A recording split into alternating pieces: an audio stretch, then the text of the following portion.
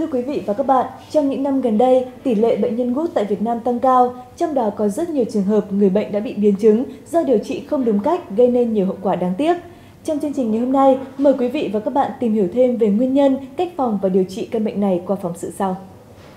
Bệnh gút là một bệnh lý được biết đến lâu đời nhất của loài người. Bệnh gút thường do các cơn tái phát của viêm khớp cấp tính.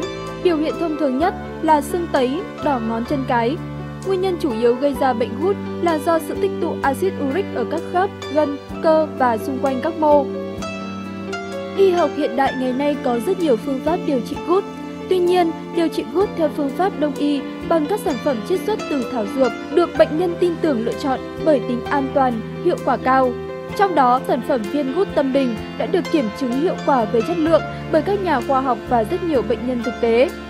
Viên gút tâm bình được bào chế hoàn toàn từ các dược liệu có trong tự nhiên như cao lá sói rừng, cao hy thiêm, cốt khí củ, mã tiền chế.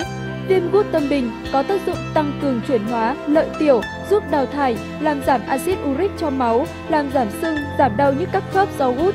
Đồng thời có tác dụng tăng cường, bồi bổ can thận, làm tăng chức năng hoạt động của gan thận, ngăn ngừa bệnh tái phát. Sau khi dùng đến cái gút tâm bình thì tôi thấy là nó có mấy cái hiệu quả thế này. Thứ nhất là cái tính ổn định của bệnh là nó rất là dài.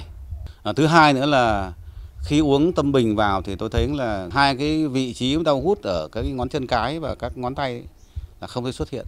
Và vấn đề thứ ba là nếu là phải phải tính đến cái cái kinh tế của những người gọi là có cái mức lương hoặc là cái thu nhập trung bình thì có thể à, theo được hút tâm bình trong một thời gian dài.